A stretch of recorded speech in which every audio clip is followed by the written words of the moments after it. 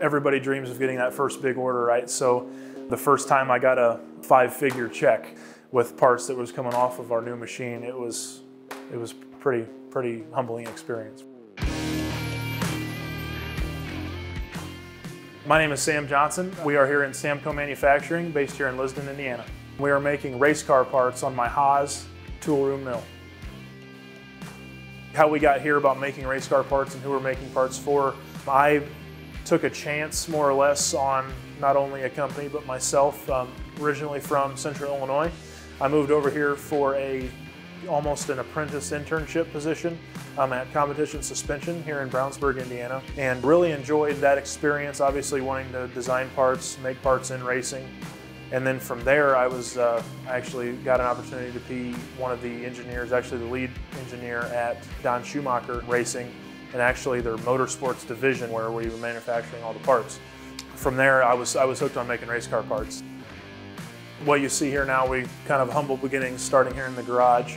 These are parts that are going actually on pump jacks that NASCAR teams will be using for the new next gen NASCAR. These parts, much like everything else that we make and manufacture here, designed and programmed with Autodesk.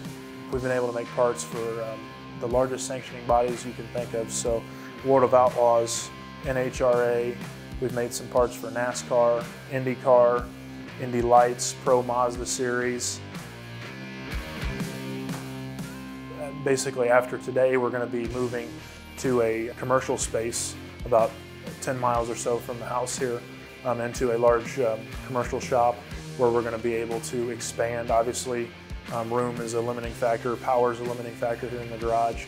Um, so we're going to be able to go to a new shop and really spread our wings.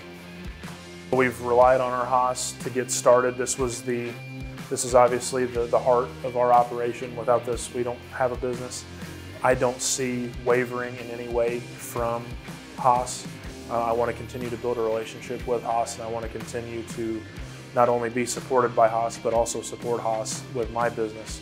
I want to make sure that um, you know we're adding more machines and able to continue to make great parts